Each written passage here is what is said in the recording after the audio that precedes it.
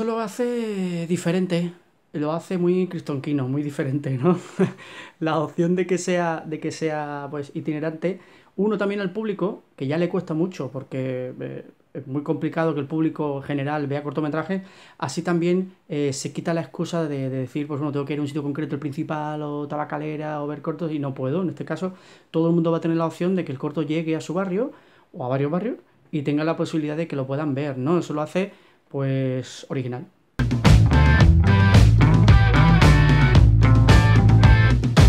Eh, hombre, que en la oferta cinematográfica de Donosti, que es bastante variada, no haya un festival de cortometrajes ya es raro. Una ciudad como Donosti que tiene muchas opciones de cine.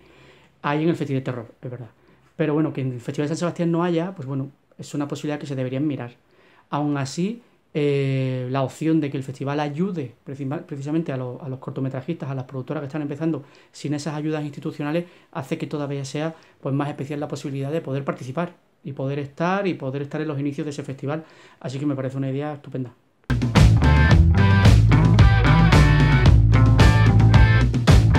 lo primero, terminar, que ya es complicado. Saber que lo has terminado, lo has podido hacer, has contado con todo, se ha hecho, perfecto, eso ya es un puntazo. Lo, otra cosa gratificante en mi caso, pues ha sido ver al público reír, ¿no? Ver salas llenas en muchos festivales y que la gente se riera, ¿no? En ese caso, sabiendo que había hecho comedia, claro. Y tenían que reírse y la gente se reía. Esa ha sido una sensación muy buena, la verdad. ha sido una, una experiencia interesantísima. Y luego, lo fastidioso. Eh, ¿Hasta qué hora tenemos? Porque habría mucho que contar.